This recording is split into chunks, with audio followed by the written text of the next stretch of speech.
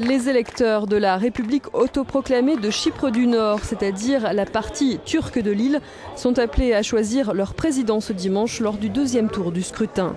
Le président sortant, Dervish Erolou, fait la course en tête avec plus de 28% des suffrages réunis au premier tour, mais il est talonné par son adversaire Mustafa Akinji qui a lui recueilli près de 27% des voix. Ce dernier représente l'ouverture et porte sur son nom les espoirs de réunification des Chypriotes turcs. L'île est divisée depuis près de 40 ans entre Grecs et Turcs. La partie grecque est-elle reconnue internationalement et fait partie de l'Union européenne Les pourparlers de réunification à l'arrêt depuis plus de six mois pourraient reprendre dans les prochaines semaines sous l'égide des États-Unis.